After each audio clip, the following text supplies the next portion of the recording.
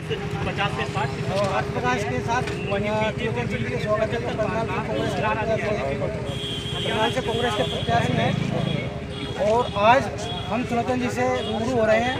सभी दर्शकों को दर्शकों का स्वागत है। त्रिलोचन जी आप बताएँ क्या मुद्दे रहेंगे अपने? मुद्दे एक तो जो हमारा मैनिफेस्टो है सबसे बड़ा मुद्दा है वही है उसी को लागू करेंगे।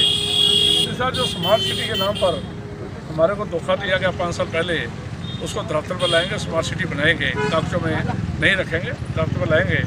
तीसरा क्राइम सिटी जो बन चुका है सीएम सिटी उसको क्राइम मुक्त कराएँगे।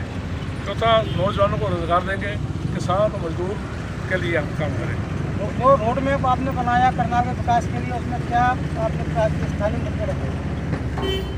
रोड में अपने तो देखो पहले तो नंबर स्मार्ट सिटी का दूसरा नौजवानों के लिए रोज़गार का ये हमारा मेन है। तीसरा शांति का। करनाल के लोग शांति प्रिय लोग हैं। हम चाहते हैं शांति रहे। आप जनता का संदेश और जनता सब जानती है। जो पाँच साल तक नज़र नहीं आए और जो थ्री व्हीलर पर बैठ के आते हैं तो पहले हवा में नहीं जाना चाहिए नीचे धरती जाना चाहिए। ताज़ा अपडेट्स के लिए अर्थ प्रकाश टीवी को सब्सक्राइब करें और बेल आइकन को प्रेस करें।